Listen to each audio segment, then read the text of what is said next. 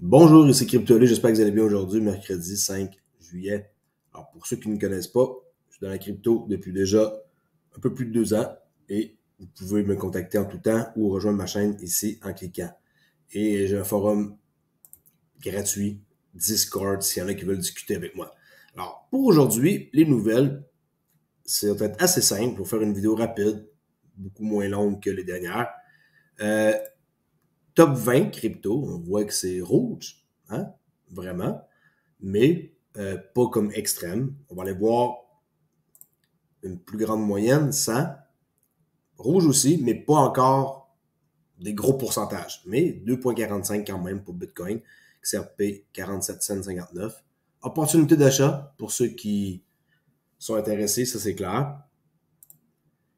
XRP tient toujours son support très, très, très important à 42 centimes environ. OK. Légèrement positif pour juillet.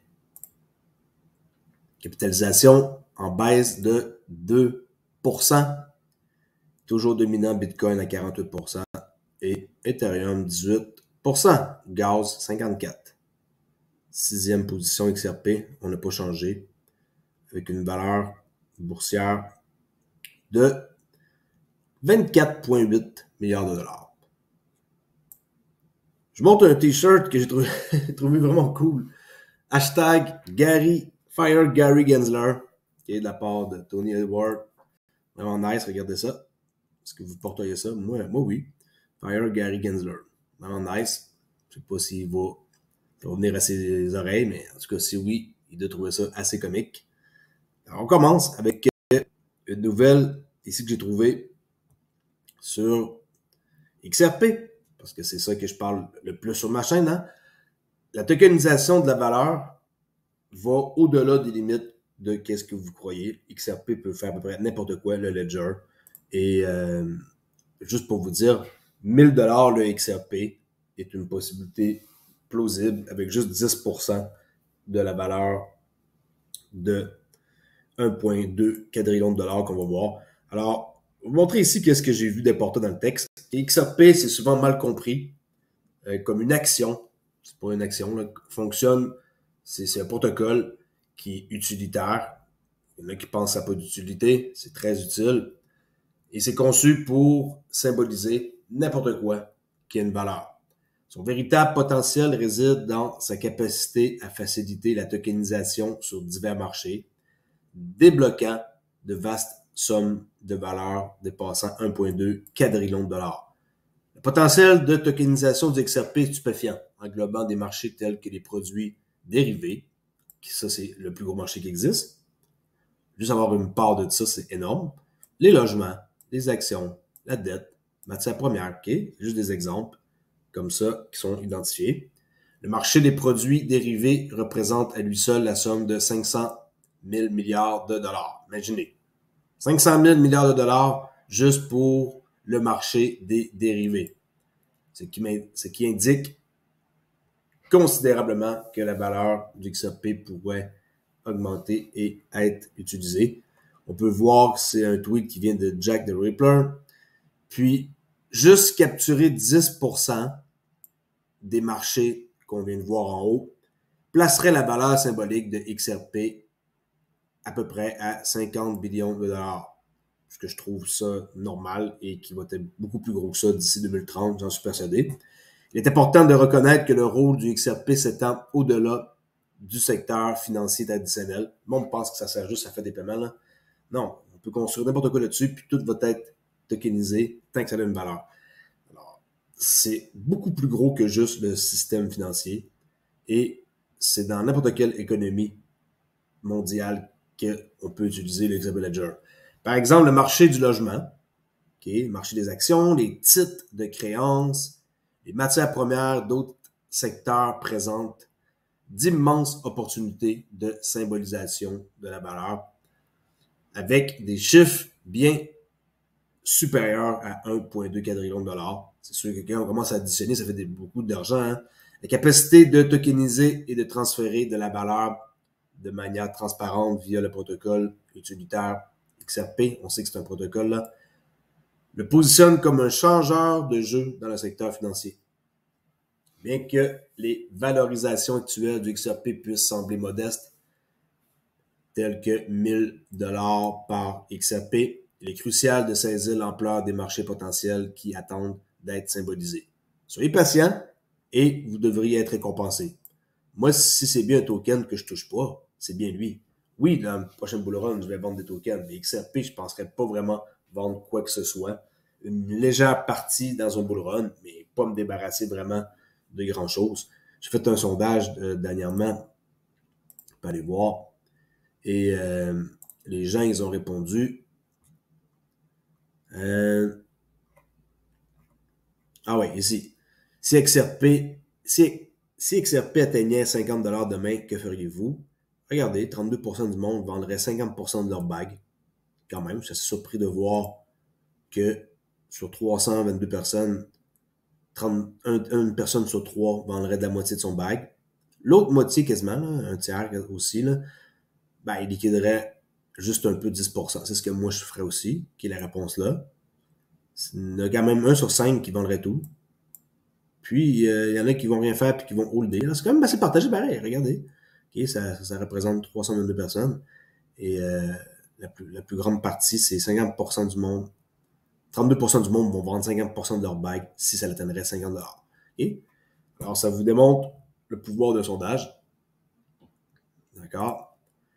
Alors, pour revenir à l'article 1000 dollars, je crois que c'est possible. Il faut que le monde adopte la tokenisation et tant qu'il va y avoir des solutions qui vont innover pour tout relier l'économie traditionnelle et numérique, le XRP reste un produit, si on pourrait dire, hein, qui est à l'avant-garde prêt à capitaliser sur les vastes opportunités offertes par la tokenisation des services publics. En fournissant un protocole transparent et efficace pour le transfert de la valeur, XRP ouvre les portes d'un avenir où des billions de dollars peuvent être facilement mobilisés. Je sais qu'il n'y a pas des billions de dollars qui sont en train d'entrer non-stop et que c'est pas encore utilisé comme que certaines personnes me font part dans les commentaires et qui voudraient que le XRP coûte beaucoup plus que 48 centimes. Puis je vous comprends. Mais, à un moment donné, la virgule, elle, va changer pour. Si je peux me reprendre comme du monde, hein. Donné, au lieu d'être 0.48, ça va devenir 4,80. OK?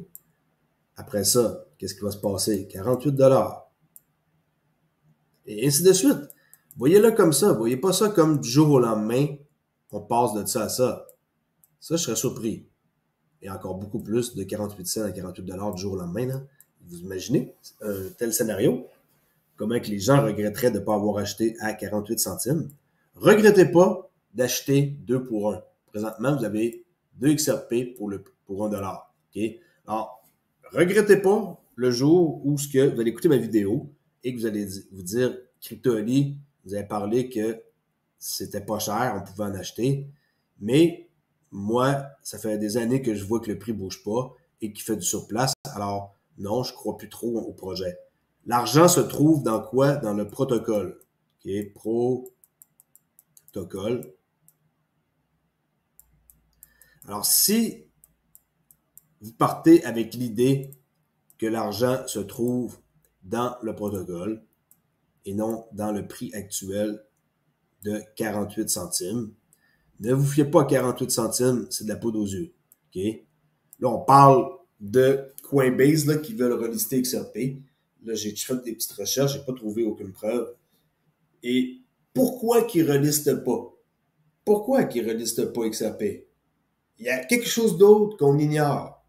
Parce qu'il y a quand même des monnaies qui sont en train d'être utilisées sur Coinbase qui sont comme genre euh, poursuivis par ASEC et qui sont, selon eux, une sécurité et qui sont en, train de, de faire des échanges sur Coinbase, Coinbase Pro.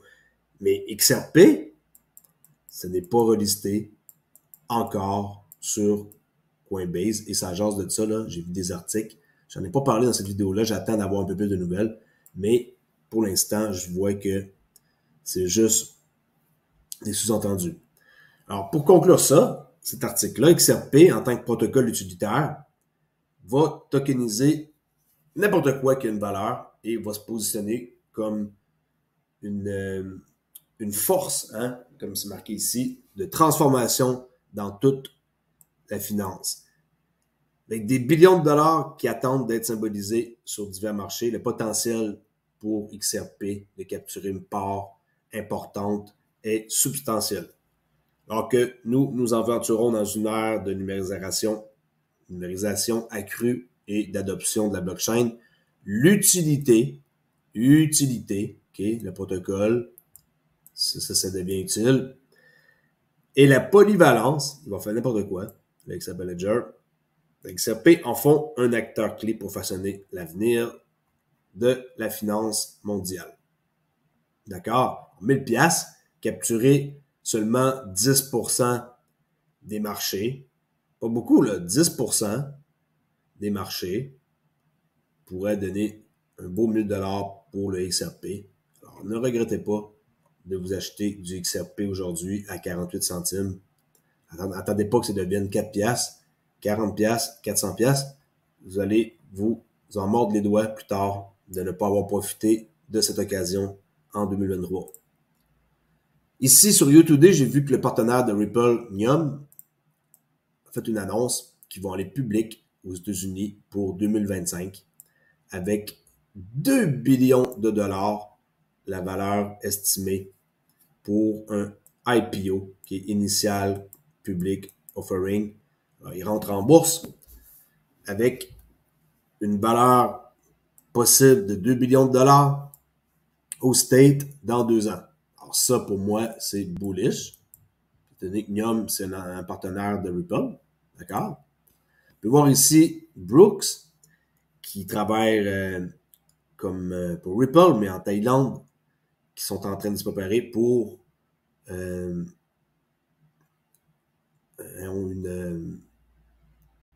un sommet sur les politiques. Ça, m'échappe, OK?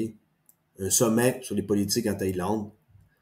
Et ils sont en train de c'est une photo prise euh, le matin. Et on voit une équipe ici pour là-bas un sommet qui a lieu.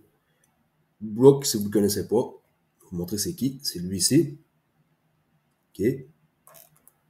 Et lui, il est le SVP et MD de chez Ripple. C'est de vous le traduire. Je ne sais pas comment on appelle ça en, la terminaison, SVP et MD chez Ripple. Je me rappelle pas exactement c'est quoi son rôle exactement, mais il a un bon rôle, puis il travaille là-bas comme Bangkok, Thaïlande. D'accord? il faut aller voir sur son profil. On voit euh, un peu plus sur LinkedIn ici. Euh, anciennement, il était pour Uber, ex-CBO. Mais SVP et MD, je suis pas tout à fait sûr qu'est-ce que ça veut dire comme fonction, mais il a un bon rôle là-bas. OK? Continue. En quoi que la Fed Nord, on revient encore avec ça, n'oubliez pas, ça décolle dans 15 jours avec 57 partenaires, fournisseurs. La Fed Nord utilise Volonté avec le logiciel Volpe. Okay, ça, c'est comme leur technologie, Volpe. Et avec le RippleNet. Et ici, on peut voir un extrait qui est sympathique. On va voir ça. Checkez bien sur un peu le mécanisme de ça. What is your financial institution Pas besoin vraiment de comprendre quoi que ce soit, là, juste les images sont parler pour vous, OK? ready for this revolution? With Volante Technologies as your N'oubliez pas, Volonté, client Ripple. trusted payments modernization partner, you can easily meet this challenge to change. And now, Volante offers the easiest and quickest way to FedNow. You can have your 24 7 year round service up and running without core changes, letting you focus on building better customer. Comme vous pouvez voir, la Fed Nord, ils n'ont pas créé de A à Z quelque chose. Ils ont juste créé un petit hub et à partir de là, plein de partenaires ont comme genre la technologie derrière qu'est-ce qu'ils veulent accomplir. C'est pas comme la Fed Nord qui ont fait tout par eux-mêmes. Ils sont pas capables de faire ça, honnêtement. Là. Ils ont besoin de personnes qui sont euh, intégrées à leur système. Mais en tant que tel, sans volonté, sans RippleNet, ils font quoi? Ils font rien. OK? customer-centric services faster than your competition. Volante's FedNow solution is available both on-premise and as a service in the cloud. It's ISO est disponible sur FedNow. C'est ISO 20022 20022 pour le service de messagerie que toutes les banques vont devoir se mettre standard. Sinon, ça va être adapte ou crève. Les banques ne vont pas s'adapter, ils vont fermer. Alors, ils ne veulent pas fermer, alors ils vont s'adapter. with built-in real-time capabilities and active-active deployment. A modern solution built for an ever-changing payments world. And Volante makes it easy for you to get to market quickly with over 300 APIs and services. 300 API OK, qui possèdent volonté. Écoutez, For 300 APIs and services available 300 API et services right here, right now. Disponibles à être utilisés maintenant. Best of all, Volante's solution for the FedNow service is extensible to ACH, FedWire, Swift Cross Border, and TCHRT Regardez. American Clearing House, Fedwire, Swift pour les paiements transfrontaliers. Tout ça, all built to grow with your business. Volante's secure and reliable payment services keep yours and your customers' data private. They are ISO 27001, SOC 1, OK, ça, SOC 2 ici, c'est un des standards les plus durs à avoir pour la sécurité et aussi Ripple, ils l'ont. Ça fait déjà euh, un petit moment, là. J'ai fait une nouvelle de ça, peut-être euh, deux ans, un an et demi, je m'en souviens pas. Ça, c'est très dur à avoir. C'est le niveau de sécurité le plus Uh, élevé qui existe. and SOC 2 certified. And did you know Volante processed the first U.S. real-time payment and C'est eux qui ont fait le premier paiement en temps réel avec la Fed Nord. OK? N'oubliez pas, volonté client de Ripple. today they handle millions of transactions per year. That's impressive. Start your FedNow journey with Volante today and gain the freedom to evolve fast. Visit volantetech.com slash Et, sinon qui sont curieux, vous pouvez aller voir c'est quoi volonté sur leur site. Ici, j'ai trouvé une nouvelle qui fait un peu rire. La majorité des Canadiens prêts à utiliser la CBDC croient que leur vie privée sera protégée. Oh my god, hein? on est mal informés. C'est juste pour vous montrer que les gens croient à peu près n'importe quoi sur qu'est-ce que le gouvernement vont leur dire. Alors, moi, j'en parle pas là-dedans. là. La vaste, la majorité des citoyens de la deuxième plus grande économie nord-américaine sont prêts à faire confiance à une monnaie numérique de la Banque centrale. Selon un sondage réalisé par Wealth Rocket, près de 60% des Canadiens interrogés se disent ouverts à l'idée. OK, oui, mais je veux dire, euh, si vous pensez que votre vie va être protégée, votre vie privée, euh, oubliez ça, là. Ils vont tous savoir de fond en comble sur qu'est-ce que vous faites. OK, juste pour vous mentionner que les gens sont pas très informés sur qu'est-ce qui s'en vient et comment qu'on va être watché, comme on dit, hein, ici, euh, surveillé. Euh, la Fed Nord, encore une fois, je parle beaucoup de Fed Nord parce que c'est très important. Comment que les banques et les entreprises peuvent se préparer avec le nouveau système de démarrage de paiement instantané. C'est un article. Juste pour vous rappeler, hein, ISO 20022, c'est la norme de messagerie. Tout va passer par ça. Et pour finir ici, une vidéo de la Banque des règlements internationaux qui a eu lieu aujourd'hui, il y a deux heures. J'ai pris un petit extrait que je vais vous montrer absolument. D'accord? Après ça, je vous dis à la prochaine vidéo. Et n'oubliez pas de vous abonner. With our multiple centres around the world, our work is currently focused on three areas improving payment systems and experimenting with central bank OK? Ils disent ici que il y a trois domaines d'amélioration qu'ils veulent nous démontrer. Regardez bien. improving payment systems and experimenting with central Améliorer les systèmes de paiement avec les monnaies numériques. Ça, on parle de CBDC. bank digital currencies, shaping the future of financial regulation and supervision, Régulation. Alors, monnaie numérique, régulation and greening and securing the financial et sécuriser le secteur. C'est simple. Monnaie numérique, réglementation et ensuite sécuriser le tout. C'est ça qu'ils veulent accomplir. sector. When you walk into the Innovation Hub, you immediately sense an atmosphere that is different from that of a traditional central bank. Et c'est plus qu'est-ce que c'était. Maintenant, c'est rendu quelque chose d'autre que les anciennes banques traditionnelles. Je vous laisse là-dessus. N'oubliez pas de vous abonner à CryptoLi. Vous pouvez rejoindre ma chaîne en cliquant sur rejoindre si ça vous intéresse. J'ai vu qu'il y a du monde qui sont en train d'être curieux ici et qui veulent avoir une badge de fidélité euh, avec un XRP comme ça d'attaché à leur nom. Et en plus, je réponds à vos commentaires euh, instantanément là, et en premier. Alors, abonnez-vous et venez faire un petit tour sur ma chaîne CryptoAli. Si vous avez des questions, ne vous gênez pas. Merci, à la prochaine vidéo. Ciao!